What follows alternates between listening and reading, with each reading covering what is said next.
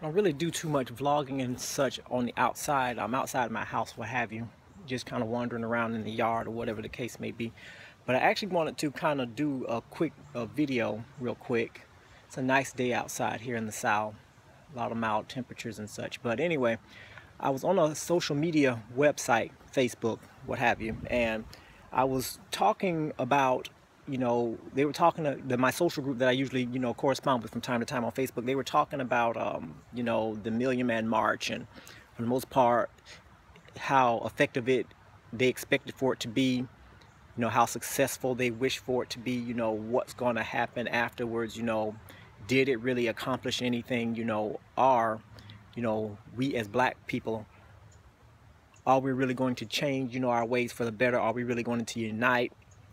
For the most part and be just kind of much just pretty much be um, better people because of its cause you know and it and the traditions and everything that is actually uh, for or that is actually that the Million Man March actually stands for as far as the from the black perspective. And you know for the most part you know we all were of course encouraged to give our input and everything and for the most part. And you know for those of you that was actually able to look at my last video that I actually posted on Facebook and such like that, you know, for the most part, my views and such, I, I stand a wholeheartedly 100% behind other things that I say.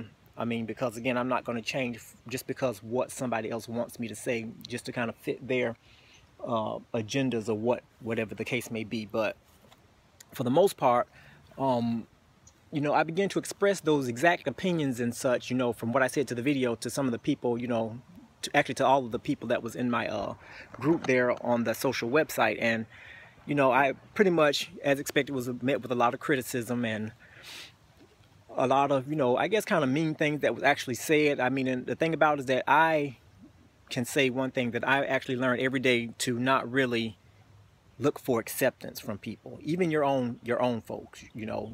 You have to be strong in yourself and your opinions and you know your viewpoints and just be prepared to defend them with you know uh, I would say acceptable uh, you know thoughts and you know and reasonable opinions and such like that you know. Because again when you're talking about anything here on Facebook or on YouTube it all boils down to your point of view which a lot of people can pretty much say that it's your opinion. But anyway, whenever I give my voice to anything, I want to make sure that it's um, well documented, well supported, and that I'm actually able to defend anything that I actually say. You know, and for the most part, I did that, and I'm not trying to toot myself on the back, but I felt that I did that quite well. But, you know, I just kind of want to go back, I guess, and kind of reiterate a couple of things. I guess that... Um, a lot of people, I guess, seem to kind of got an uproar about when I was actually expressing my viewpoints uh, on my last video that I did regarding the Million Man March. One thing that I actually don't appreciate or that I will not ever allow anybody to do to me is to railroad how I think. I don't care who you are, where you got your training, how many degrees you have, you know, what type of family you come from, your religious background, and all of that type of stuff. Um, I will not allow anybody to take my choices away from me. And I mean that wholeheartedly, you know. And the thing about it is that from my viewpoint, from how I'm actually seeing things, from how I actually look at this whole particular movement, you know, the Million Man March doesn't actually represent anything, in my opinion, that's actually positive, even though it wants to present itself as being positive. You know, for the most part, my opinion is that it's a way for uh, black folks to become enslaved once again. And for the most part, um, for those of you that can think, I'm pretty much sure that you can pretty much understand why, you know, why I say that. Um, for the most part, you know, when I was actually going on and looking at some of the, um, some of the, uh, I guess, videos that was actually being done after the Million Man March and even some that was done before and maybe even some that was done during. You know, a lot of people were saying, you know, there was a lot of people that were there, of course, you know, black folks and, you know, that sort of thing. And for the most part, you had some people, you know, that was actually angry because they felt that not all black people were actually giving the attention to this particular cause that it deserved. Now, see, for me, I already told you what I was going to be doing when they actually uh, wanted to post that, or when they actually wanted to do that uh, particular movement in Washington, D.C. I told you that I was going to be looking at television and carrying on my life as normal, you know, doing things that is important to me and what I want to do. But for some reason, you know, you actually have a lot of supporters of, you know, that movement that was actually upset because number one, and this is what I heard from a lot of people, and this is what actually was told to me also during my Facebook, you know, conversation, is that, you know, during this march, it was recorded live, you know, from, from a lot of different outlets, you know, maybe some that was from around the world or what have you, but some of the main TV networks, you know, the ones that are, for the most part, all about black folks, you know, i.e. BET, you know, some of them were actually choosing to air cartoons from what I was told, um, from what I actually heard and researched or what have you, rather than actually air the um, Million, Man, Million Man March. And for the most part, you know, most some of the people that actually support the movement was actually in an uproar because of it, because they felt that, you know, that should have been, you know, time that should have been devoted to something that was worthy, you know, of its cause, you know, for the most part okay? And you know because of that you know we have a lot of people now that are upset you know a lot of people that are angry you know that a television show or a network that is devoted to you know our world our culture you know our being they're afraid you know are angry that you know they would choose to air cartoons in its slot as opposed to airing the live you know rally or whatever the case may be at up there in washington d.c i.e the million man march and I felt that that was kind of funny that, you know, people would actually get upset about that. And I actually, I guess I kind of pissed some folks off because I was laughing out, laughing at it. Because the thing about it is that, again, I don't mind being different. I don't mind being the odd person out. As a, as a matter of fact, I'm actually comfortable with that. There's no place I would rather be. But the issue is, is that, you know, they got upset because, you know, I was like, well, number one, I mean, you cannot take that cause seriously.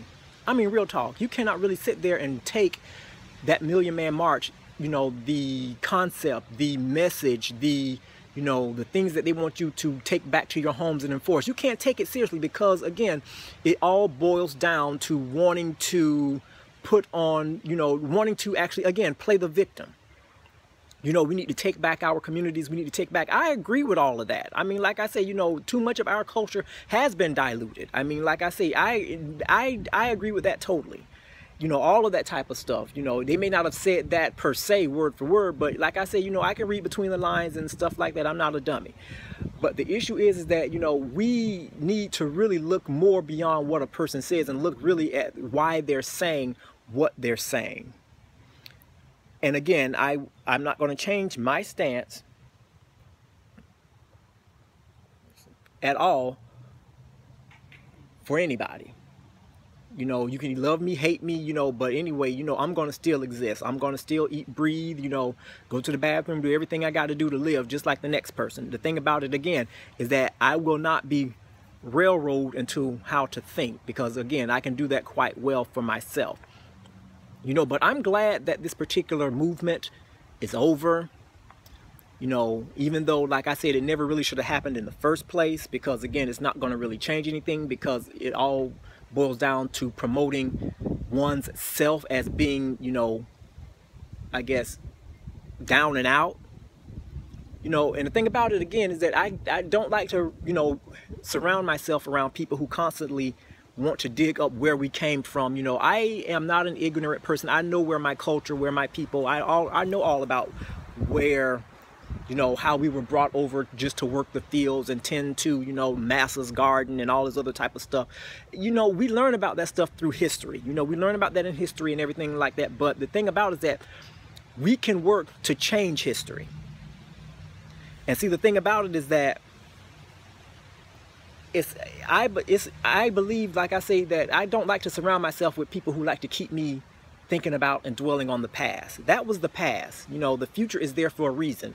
It's to for you know to go out and do something different. You know, do different business ventures and you know, that sort of thing, you know, just to kind of just go out and do your own thing, make things happen on your own terms. I don't need anybody to sit there to kind of remind me that this is where you came from, you know, and this is what the white man wants you to be and he wants to keep you in a state. I already know pretty much the odds are against me as a black man. And I've been fighting for that just like any other black man throughout, you know, since I since I existed through employment, through education, and even and like I said, through all of that, I still came out on top like I said, and I didn't have to go back and remind folks of where I came from to do that.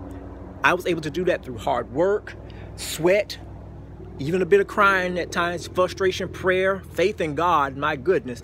You know, and he saw me through. But the issue is, like I say, you know, it's not that Million Man March. I live near a Navy base, so that's pretty much, you know, I'm hearing some airplanes, naval helicopters and such, but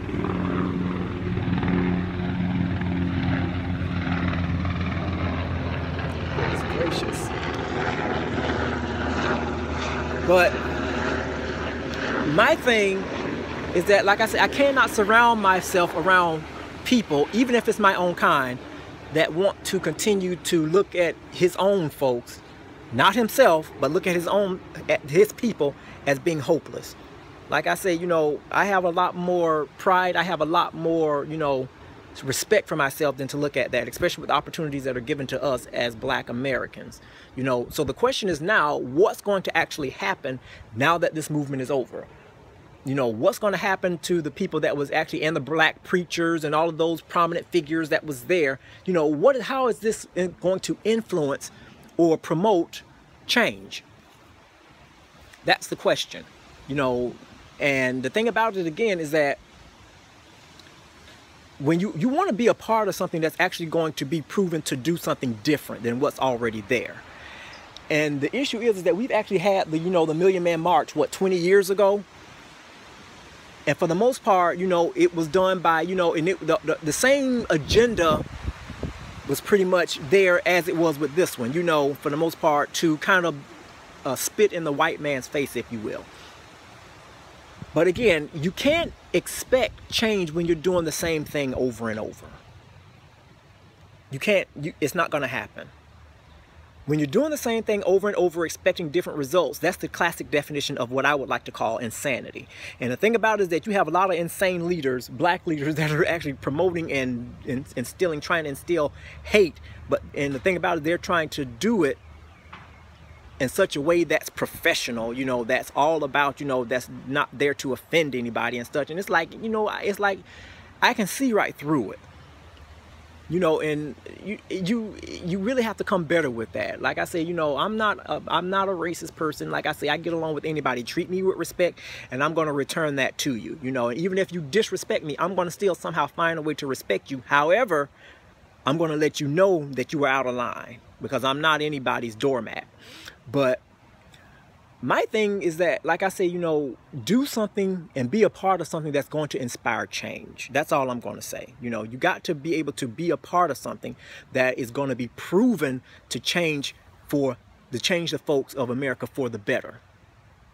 You know, and, and there's nothing wrong with telling, you know, young eh, fellow African Americans, black folks to be proud of who you are. I, I am all aboard that. I'm all over that.